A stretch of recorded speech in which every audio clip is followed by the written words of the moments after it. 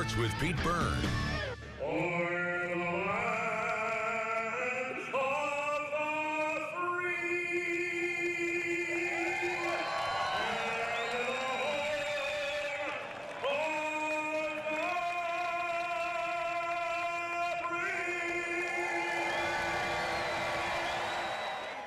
A new era of baseball begins in South Bend.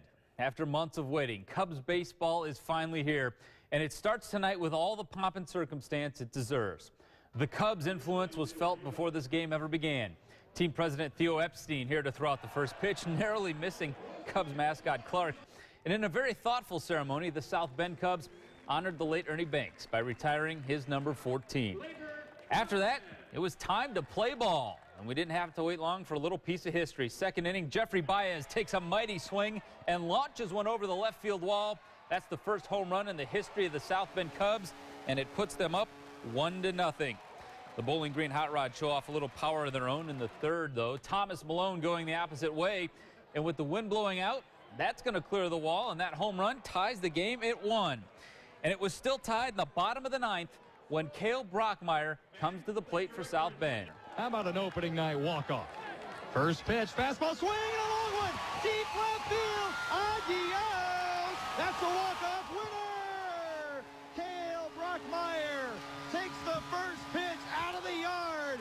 South Bend 2, Bowling Green 1. That's our own Darren Pritchett with the call on WSBT Radio as Brockmeyer sends the fans home happy. A solo walk-off home run to left field. As you can see, the W flag flying high over South Bend tonight. The Chicago Cubs win, and Cubs president Theo Epstein couldn't be happier.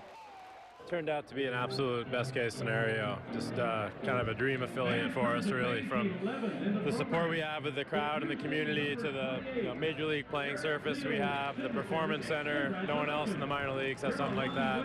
It's at least a AAA caliber clubhouse. It's, it's an ideal environment for our players, first class all around.